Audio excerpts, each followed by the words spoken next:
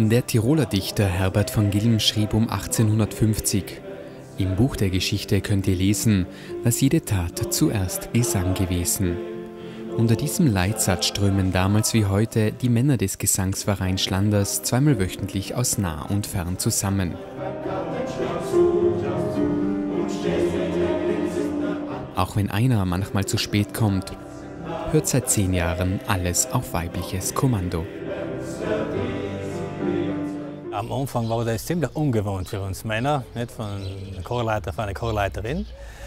Und sicher waren bei uns auch ein paar Spitzbuben dabei, nicht? aber sie hat das ganz geschickt äh, in die Hände genommen und, und die ganzen Sachen nicht, äh, aus, äh, flott der Regel, sage ich jetzt einmal. Es ist ein Verhältnis Chorleiter-Chor, ob Mann oder Frau spielt für mich überhaupt keine Rolle. Ein Chorleiter braucht Geduld und Einfühlungsvermögen und die Sänger melden viel, was sie gern hätten an Literatur und ob ihnen der Probenstil passt oder nicht. Und dann wird man sich einig. Aber ob Mann oder Frau da vorne steht, spielt keine Rolle. Auf wie aufs Gebild, heißer Juwel, lustig und frisch davon, auf wie auf Köln.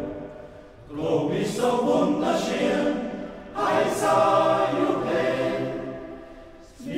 für viele ist der Chor zu einer zweiten Familie geworden. Ich bin jetzt 35 Jahre dabei und äh, ich hoffe jede Woche schön hinzugehen. Man, man lässt alles hinter sich und, und wenn man bei der Probe ist, dann ist man einfach in einer anderen Welt und äh, man kommt nachher zu einem Gasel zusammen und singt weiter im Prinzip, was man vorher gelernt hat. Im Chor ist man in einer Gruppe wo man mit den gleichen Stimmen oder auch mit unterschiedlichen Stimmen singt, um zu entspannen, um äh, vielleicht äh, den Stress von Alltag hinter sich zu lassen. Das ist ihr Grund, uns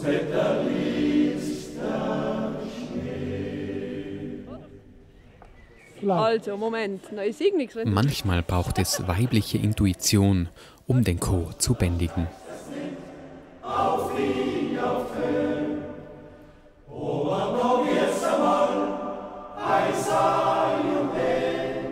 Es gibt schon, wenn man ein Lied äh, auflegt, was nicht so beliebt ist, dann muss man schauen, wie man es beliebt macht. Und das, das Besondere an einem Lied, äh, dass das rüberkommt und dass es die Sänger dann mit Herz und Seele und Verstand singen können. Weil wenn sie nicht überzeugt sind von dem, was sie singen, dann geht es auch aufs Publikum nicht über. Und in der Kneipe in Straße, da fragt mich keiner,